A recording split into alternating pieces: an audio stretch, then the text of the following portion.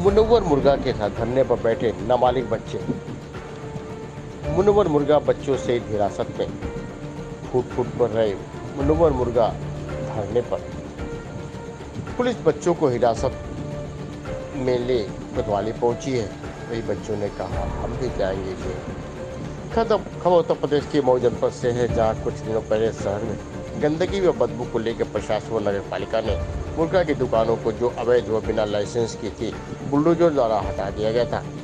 इसी को लेकर मनोहर मुर्गा अपने बच्चों से धंधा स्थल पर बैठ के प्रशासन से अपनी दुकानों को दुकान मांग रहे हैं, जिससे कि हम अपने परिवार का कारोबार चला सकें, बच्चों की परवरिश कर सकें। वहीं मनोहर मुर्गा ने अपनी बात रोते हुए मीडिया को बताई। यार पहले चलो ना आओ आओ हमारे बच्चे भी नहीं आओ हम नहीं जाएँगे देखो यार चलो आओ आओ सुन लो बात उतार उतार हमारे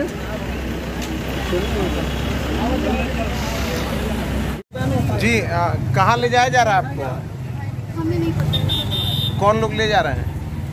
क्या कहे लोग? जा रही है से जा रही है। और भाई कहाँ लगा गया आपको?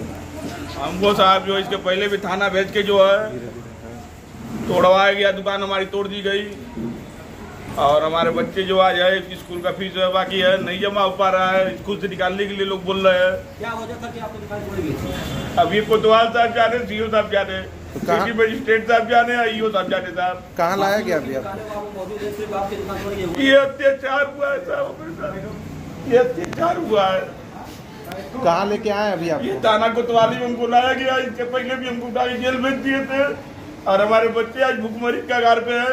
हमारे माँ बाप कह रहे कि घर से बेदखल कर दिया जाएगा बाहर निकाल दिया जाएगा। हमारा क्या कसूर है? तो कहाँ बैठे थे आप जो अभी लाया गया? हम अपने दुकान में बैठे थे जहाँ मुर्गा उर्गा का व्यवसाय करते थे। हमारे बाप जो है पचासों साल से वहाँ व्यवसाय कर रहे थे। आपकी दुकानें हटा के वहाँ पर क्या रखा गया है? वहाँ कुर्सी वगैरह नगर पालिका द्वारा रखी गई है। तो आज किन लोगों के साथ आपको लाया गया कोतवाली?